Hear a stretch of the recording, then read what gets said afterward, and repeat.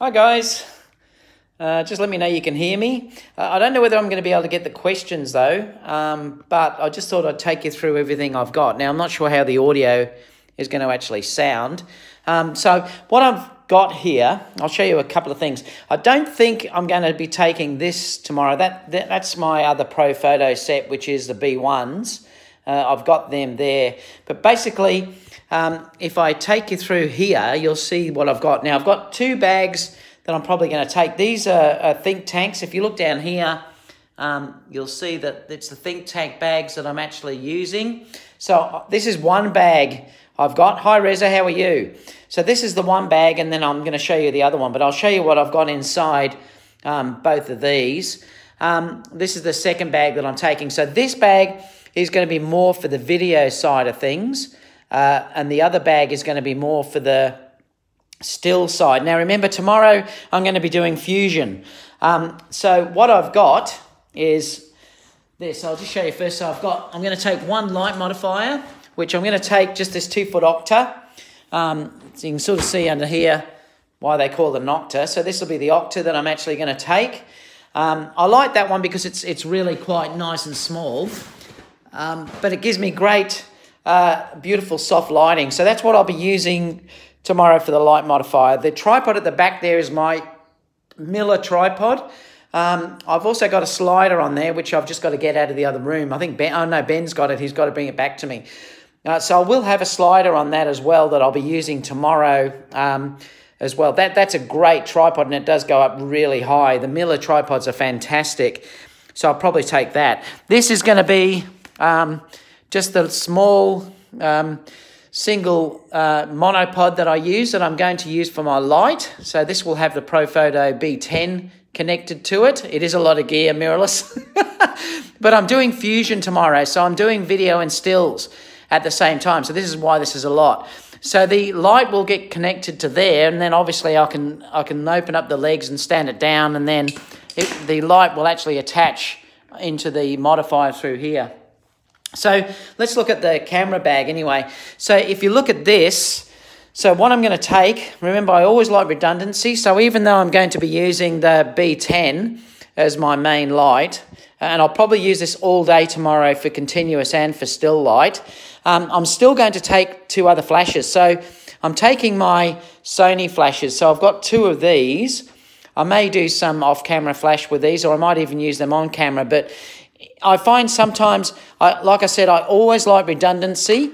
So I always like to be able to um, have other things in case if something fails. I mean, I've never had a Profoto fail, but if it did, then at least I can still shoot off-camera flash uh, with this as well. Now, the gimbal I'm going to be using is obviously this one, which is the Moza Air 2 that's just been, well, it's not released yet. It's going to be released next month, I believe, early in the middle of next month. So I'm going to be using that. And the camera that I'm going to be using on that is going to be the A9. Uh, and I've got the Tamron 28 to 75 on that uh, as well. Guys, sorry I'm not saying hello because I, I, can I go across like that to see your, yeah, I can't get the questions to show up. Uh, I'm just trying to see if I can get them down. No. Whoop.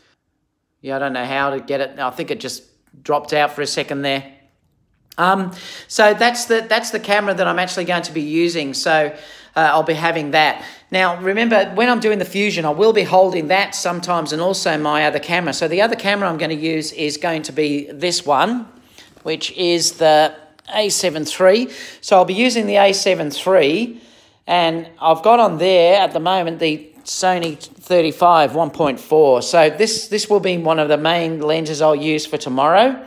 Um, I'll be using this. So that's one of the main lenses I'll be using. But the other lenses that I'm taking on the day are these lenses. So I've got in here, which is the 16 to 35. So I'm taking that for the wide angle. And they do look a bit used because that's just the way I treat them. Um, so that's 16 to 35. Uh, I'll be taking the Batis 85. So the main lenses I'll be using tomorrow are going to be the uh, 35 1.4, this is for stills, and the 85 Batis. They'll be the main two that I'll use tomorrow. I also have the, um, the Sony 70 to 200 f4, so I'll be using this too if I need some things to uh, have compression and stuff like that, or I'm shooting from a fair way away, I'll use the 70 to 200. Um, so they're the main things. Now, the other thing I'll have too is this. I'm taking this in case if there's really low... No, I don't use lens cap, gourd. Uh, sorry if guys are asking me questions because I only see them for a second. Um, if I miss them, I won't be able to answer. But yeah, i am using this uh, if there's low light. Uh, yes, they are, has. I never put lens caps on. I want to be able to grab things quickly and then just uh, throw them back in the bag. Uh, the thing is, the lenses are a lot tougher than what you give them credit for. Um, so I don't, I never put lens caps on, and I don't even put UV filters on either. Uh, I haven't used lens caps for years, and the lenses are still really good condition. It's only the outside that looks a bit rough. Uh, because I am a, bit rough with them. 55 will be used if there's low light, and I may also use that for some video as well if I want to get some beautiful separation and, and put that on the A9 and um, use that for uh, some separation.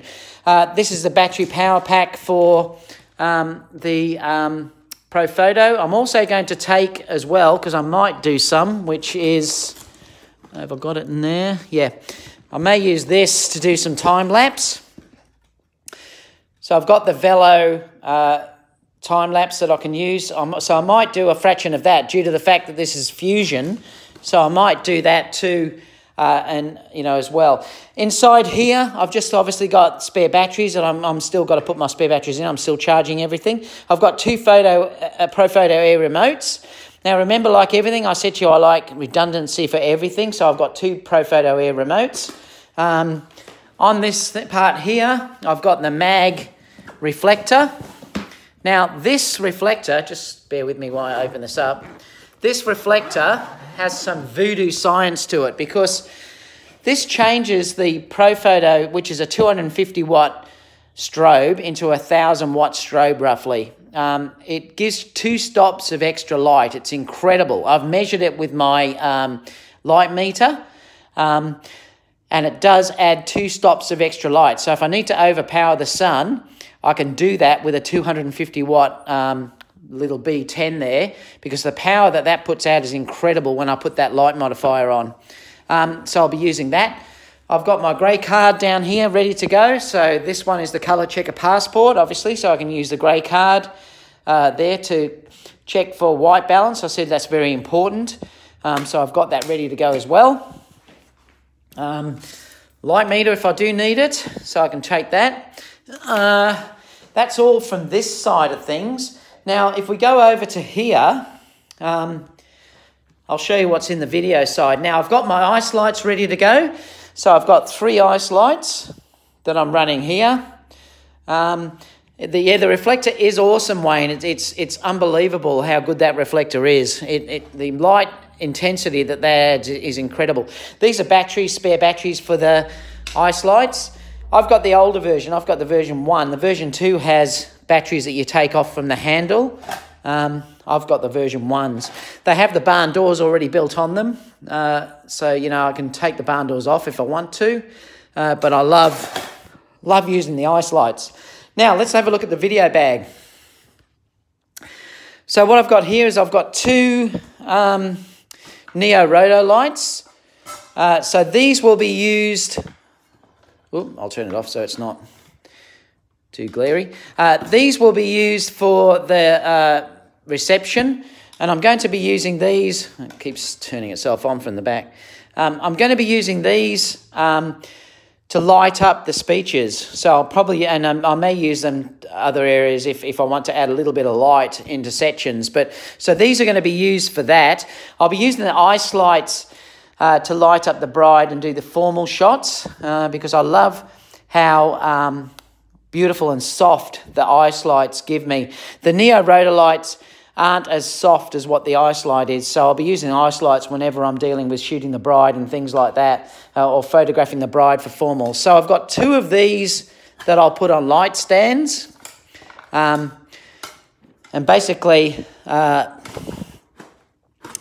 so I've got two of those that I can use. Um, this little device here I use this to connect onto my camera. Now I've got the Sony a7R2 in there and I've got the 18 to 105. This is the lens that I'm going to use in the ceremony and the camera I'm going to use in the ceremony tomorrow Uh, I, I've got no idea how much gear's here. I've got no idea. It's a lot. It's pretty, it's pretty expensive. Um, this uh, little thing that I've got here lets me put in two of these, which I'll show you. Um, I've got two of these setups, which I'm using the Rode video um, links. Um, they'll go on either side. So basically what I do, let me just see if I can, I'll get the stand. Let me just get the stand. Uh, this will also be going to, by the way, I'll be taking this to attach into the um, switch, uh, into the board for the speeches and things like that. So I, I actually uh, wire that directly into the uh, PA or whatever is um, being used. So let me just put this on the stand and I'll show you what I do. All right, so what we do with this, uh, where are we?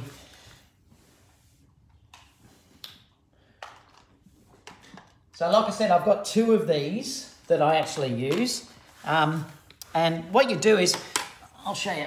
So I grab the camera and then basically this will go on the top. I've just got to see if I can get this without losing it all. That sits on the top of the camera like that. Now this lead then goes into your mic input at the back. So if I open this up, hopefully you can see it. If I open that, it will go in here. Now you can monitor your audio out obviously through the camera, but then what I do is I have two of these. So this screws into the side here, and then basically it connects through the front.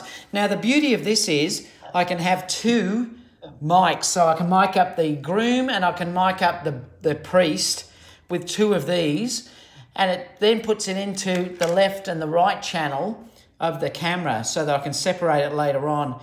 Uh, and I, I, really like working that way.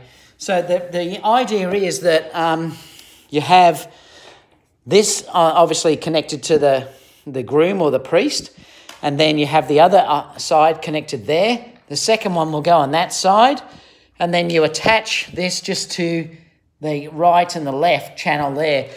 So you can record directly, have two people recording directly onto the camera. Excuse me. Um, I do like going that way because then I don't have to sync it up later in post.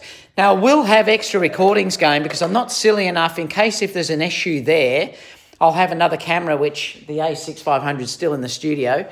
Um, I will also be using these, which are the, the Zoom H1s or F1, I should say. I've got two of these. There's another one that's actually in there, down the bottom in there. Um, I'll be miking these up into separate, or putting these in separate places as well. So I'll have um, redundancy again uh, going on. On the camera itself, I'll just be using just this little, um, I think it's a micro, Rode Micro. Um, I'll have that on top of one of the cameras, so I'll have that to have uh, on camera uh, sound. And I'll even put this, which is just a zoom. Uh, this is the H1. I'll have this just sitting near the priest or somewhere like that or near a speaker dangling down or whatever. So I'll have redundancy showing that way as well. So I have multiple redundancy of audio. And this is why I'm saying to you, uh, I mentioned just before about having a camera with dual card slots. Uh, why I love that because it gives you that redundancy. And all the time, I've got redundancy here uh, as well. Um, another lens that I've got in here is the macro. So this is what I use uh, for the macro. This is just 30 mil, 3.5. I think it's a 30 mil. Uh, I always forget the size that this is. What is it? Yeah, it's a 33.5 macro. And the other lenses I'm just taking, just in case if I need them, is the 30, it's a bit scratched, uh, the 35 2.8 it shows you how tough these lenses are, though. Like they're still optically brilliant. They're just a bit rough on the outside. And I'm taking the 10 to 18 as well if I need a wide angle uh, lens as well uh, in there. So I've got that too. The drone I'm going to be using is the Phantom 4 um, that I'll be using for that as well. And I've obviously got the I've got a couple of spare batteries, and I've also got the um, what are these ones? I can't remember. Polar Pro, I think. Are they? Yeah, Polar Pro NDs that I'll use with the, the actual drone. Um, so it shows, I mean, I've got, an, like I said, I've got an awful lot of gear, but I've got two people helping me tomorrow. But because I'm doing video, you can see how much the audio takes. These are just leads and things like that that I can patch into, um, into the decks so that I can record the sound directly. I've got headphones that I need to monitor the sound as well. David, how much time do you allow yourself to set up all the audio? Um, I want at least 45 minutes at the church before the ceremony begins. Uh, I need that time because I've got to mic people up. I have to set all of these external bits of audio, the backup audio and stuff like that. So I like to be around 45 minutes before the bride comes. Uh, and that gives me enough time to mic up the priest. Uh, it gives me enough time to mic up the groom. Um, and like I said, put the um, redundancy sort of audio gear everywhere else. And it's the same getting to the reception. I like to be at the reception, you know, a good half an hour or so to set everything up before, um, before they come and get introduced. Uh, so, you know, that's basically what I'll be taking. It'll look neater when I go. Um, batteries, obviously, I'm taking spare batteries in case if I need all the spare batteries. Uh, I love this little device because it's an Edelkrone, but you connect your camera right to the top, and that can connect to on top of a uh, tripod or something like that as well. I've also got this great little device. Where did I put it? I think. Uh, oh, it's here. Also, this little Edelkrone device is amazing. Um, I'll show you how this works because this is, I love this little thing. Um, what it does, just have to make sure you can see me. What it does is you fold these down, which are the wheels. This folds out, that folds out. That comes the opposite way, I think, like that and out. Now, then what it does is, if I scroll this down, so what you do then is you just attach your camera to the top here, and it just screws in, and then you can use this like a, a roller and you can do just interesting things because if you move these, you can then roll around things. And so I use this for video and you get beautiful, smooth, um, I often do it, for instance, if I've got the flowers and stuff like that, you know, I'll do a smooth sort of move around the flowers. The flowers will be here and it, will sort of smoothly pan around like that. Um, great if you just want to not take a slider, uh, stuff like that. Um, what else? So that's a little Edelkrone slider thing. Uh, I'll just show you the rest of my studio while we're here anyway. So this is the makeup little station that I've got over here, just so you can see it. Um, so the girls, you can see my beautiful t-shirt. Girls are always doing their hair and makeup over this section over here. I've got all stuff built into this section, you know, that they'll have everything that they need. Um, Bike I use as a, as a um, just as a prop, so it's not used as an actual bike, it's just a prop. This area is just so that the people uh, can sit down uh, and watch. So I've just got basically that there. I've got big curtains here because I use natural daylight coming in in a lot of the shoots. Um, so I really like that natural daylight. And I've got big V-flats that I can use through here as well. Uh, and I can take them over there and use them near the light, which is just beautiful. Um, but yeah, that's a beautiful couch. It's really, really comfortable. Uh, all the windows are electronic, so you can just open them up and it can be blanked out. So they're all done. I have a full-size mirror that you can see through here, so girls can be checking themselves out or whatever. Uh, check that their outfits are, are really nice. I've got a stool there that I use all the time for girls to lean on and pose on, so I do that all the time uh, and really love that section. Um, if you're looking down towards the other side, you can see here that I've got my, obviously, the five foot octa that I'm running through that section there. Um, obviously, and it's on a big um, C stand that's on wheels, so I can move that around.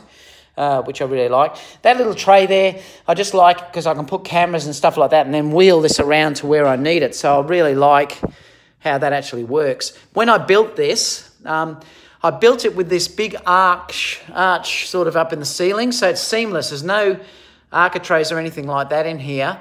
Um, it's all seamless, so I've got a really high roof in here that uh, I can do everything like that. It cost me a fair bit of money, but I really like it, so I've got that extra height that I need.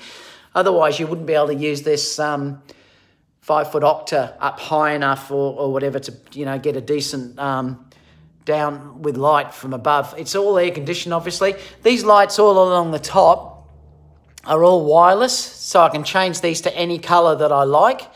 Uh, and, you know, I can just control those from my phone. Um, and obviously the, the down lights as well, uh, you know, can be controlled as well. So I can lighten them up or, or take them down. So this room's quite big. It's certainly uh, big enough for me uh, to actually uh, do anything that I need to do. I've just got down the back um, just two paper rolls. I've just got the white and I've got the um, grey paper that I tend to use. Um, you know, and then obviously I've got a little flower bed that Kerry made here that I use all the time. Uh, that's really beautiful. I've got the V flats that I use. I've got a um, big, this thing here is just Perspex that I use sometimes if I want the floor to be sort of glossy or like a mirror. Um, so I use that as well. Um, like I said, the windows are all electronic, so I can open them up and close them. The studio itself, uh, if you walk into here, you'll see where I do all my broadcasting from. Um, so you'll see my setup there. The, the desk itself is, is electronic, so I usually stand during the day. Um, and basically I can move it up and down and, and work out the size that I need, so I can do that. The TV at the back is there so that people, when they're coming in uh, to view their wedding videos, uh, sit down, or even clients that are viewing their images, they'll sit down on this couch here, um, and then they'll basically just look up onto the screen there uh, and they can see the image beautifully up there. It's bigger than it looks. It's actually a, a 70 inch TV, so it's, it's really quite big. You can see my lighting set up through there. Um, and this is the computer setup that I've actually uh, got. It's a bit of a mess at the moment, actually. Uh, I'm going to take this, obviously, to record the sound. This is um, just for some audio when I want to dub through. Uh, you can see the tablet that I use through here. Uh, I've got the Mac Pro that I'm using uh, through there. Um, and I've also got um, a, another second monitor that I've got through there. So, uh, and the studio speakers that I'm running here as well, they're Fostex ones that I'm running as studio speakers. I've got a fridge there, obviously, that I can give clients drinks. Uh, there's Susie and a couple of gimbals that I'm using through there. So that is my studio side of it. Over here, uh, I've got all of my books and bits and pieces all in this uh, section over here. Business cards are all over there. Uh, the, I've got all the lighting that I can control wirelessly and change the colour uh, through there as well, as well as downlights, obviously. And this has the same high ceiling through here as well. Uh, I just love how it's got no architrave and it's all raised up in that pattern, which I really like. Um, the, uh, the back, I'm, I'm just sort of showing sort of walking out, it'll give you an idea, uh, you know, sort of how this all looks.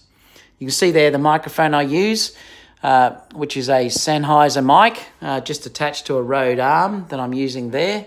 Uh, so that's how I'm getting my audio in during the podcast to you guys. Um, and then I just have a storage room, which basically uh, is in here. So in the storage area, I've just got all of my uh, sheets and blankets and backdrops and stuff like that um, all through here. Light stands usually here, but I've got a lot of light stands out because I'm taking a lot of them um, with me uh, as well. All this stuff through here is lighting. So I've got all my lighting stuff, all my gimbals and stuff like that are under here. So I've got a, quite a few gimbals under there that I don't just don't use now. I should sell them probably. Um, I've got cases and stuff that I use for kids shoots and things like that through there. Again, these boxes and stuff like that are for vintage shoots that I do.